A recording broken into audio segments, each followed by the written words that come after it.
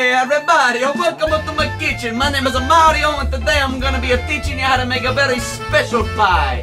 And of course when I say pie, I'm talking about Mario's favorite cherry cheesecake pizza pie. Made especially with Mario's favorite Solo Foods cherry pie filling. I got all the ingredients right here, so let's get it started, no?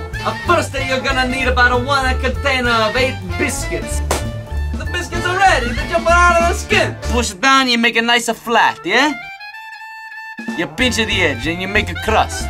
You take a big cookie sheet like this and you spray, spray. Then you take your crush of graham crackers.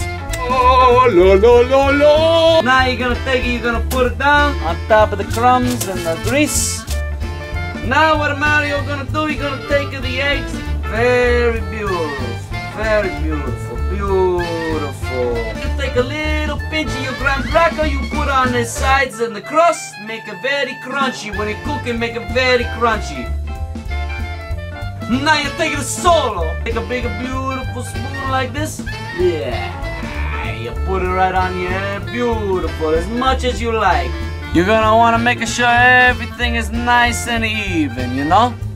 You put it in the oven and nice, nice.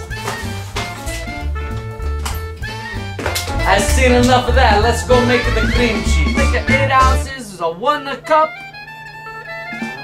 One teaspoon of vanilla.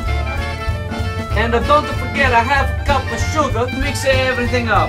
Make sure you put a little muscle into it, huh?